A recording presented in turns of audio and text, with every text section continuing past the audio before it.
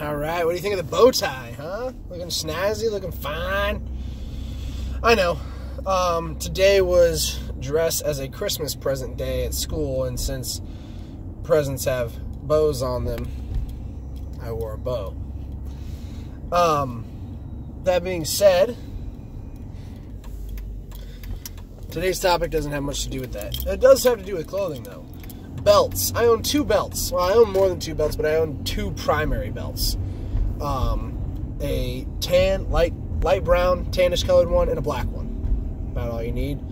Um, and the tan one is Croft and Barrow. The black is Dockers. And this is important because on the inside of the belt, the part that touches, you know, your body, uh, they have the logo of the company that it belongs to, like uh, branded into the middle of the belt. And the problem is, when I wear this belt, that logo is upside down.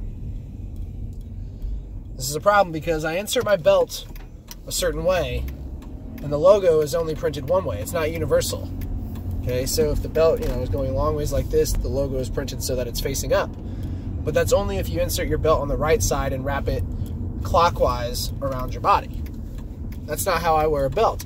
I insert the belt on the left side and wrap it counterclockwise around my body. Um, that's just how I've always done it.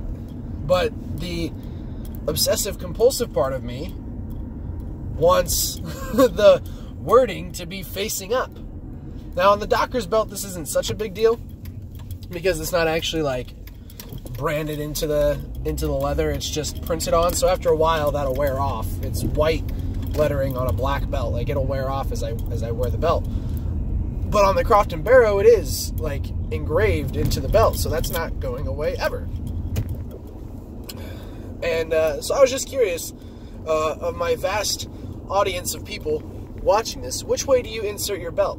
How do you how do you wear it? Do you start on the left and work your way counterclockwise, or do you start on the right and work your way clockwise? I'm curious to know um, because I'm I'm fairly certain that not everybody does it the same way. Um, also, when you when or if you respond, are you left-handed or right-handed? Because that might play a factor.